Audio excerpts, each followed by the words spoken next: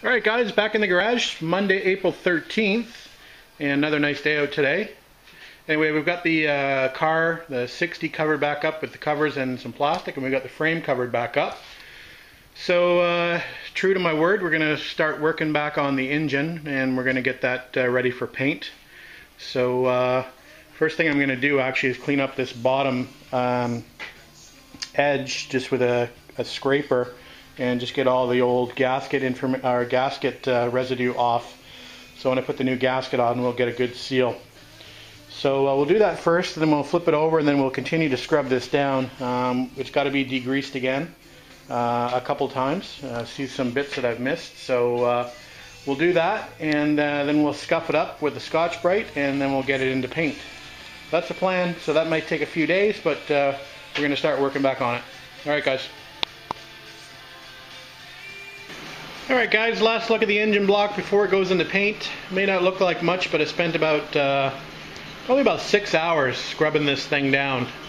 Uh, and sanding it and scotch brighting it and uh, degreasing it and it's a lot better than it was.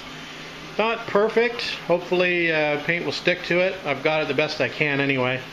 So uh, yeah, we're just about to spray some paint so I thought I'd take a quick uh, quick video of it before we do that. So there she is and the next time you look at look at it it'll be uh, nice and shiny in black. Alright guys. Alright guys not sure how well you're gonna be able to see it but the engine is now painted. So we've got uh, three coats of black on there. So I think it looks okay. Of course we masked off the areas that uh, needed to be masked off. So uh, I've got the timing chain cover inside. I just need to get replace that timing chain cover seal which I have coming in the mail this week. So uh, once we get that new seal in, then we'll throw the timing cover back on. I do have the oil pan done inside as well. Um, I think I have an oil pan gasket, so technically we could put the oil pan back on. Um, and I'm waiting for a few other gaskets as well. So um, we're not going to be able to go too much further on this engine, but I thought I'd just give you a quick look of it uh, while it's uh, here drying. It's almost dry now, actually. I'm going to actually uh, probably just move it over into the corner to get it out of the way and let it dry probably overnight before I get uh, into touching it. But uh, I think it looks pretty good. It looks a heck of a lot better than it did. I might have to dig up some uh, before and after pictures of it uh, uh, for comparison purposes. But uh, yeah, I think it looks good. So that's it for now, guys. We'll come back when we make some progress on something else. Guys, I uh, went into the basement and dug into my parts bin and uh, found that I actually have uh, a couple of gasket sets actually for the TR3. So we're going to dig into what I've got, and I've actually got a really nice uh, oil pan gasket here. Actually, I have two of them. Um, they're both pan uh, gaskets, but this one seems to be a little bit more substantial than the one that came in this kit. So and that's a uh, that's a bottom end kit basically. It's even got the figure eight gaskets for the piston liners. Um, anyway, we're going to go ahead with this uh, nice looking, really nice looking oil pan gasket. So I've got the oil pan under here, and if you recall from the previous video, that's all been cleaned and painted as well. So we'll uh, get that back on the car. We're going to dig out the uh, oil pan bolts. Uh, they're stored away somewhere, so we have to find those first.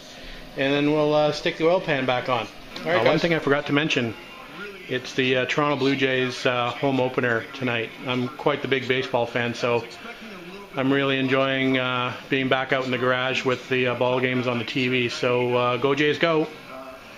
World Series. All right, guys, we got the oil pan back on. We're happy with that. We had uh, one little stubborn bolt, but everything else went on fine. So that looks good. Another job, another job down. I don't know if you can see that or not, but uh, it looks good. So uh, I think we're going to stop there for the night. I haven't torqued those bolts yet, and I know that's pretty important to not over torque these bolts on the oil pan. So uh, we'll get the torque wrench out probably tomorrow. Um, for the rest of the night, I'm probably just going to go through the gasket set and see what's usable. Like I said, I'm still waiting for uh, a parts order to come in the mail this week, so uh, I know for for sure I'm going to need a timing seal. So that's in the mail. So I won't be able to get the timing cover on until I get that.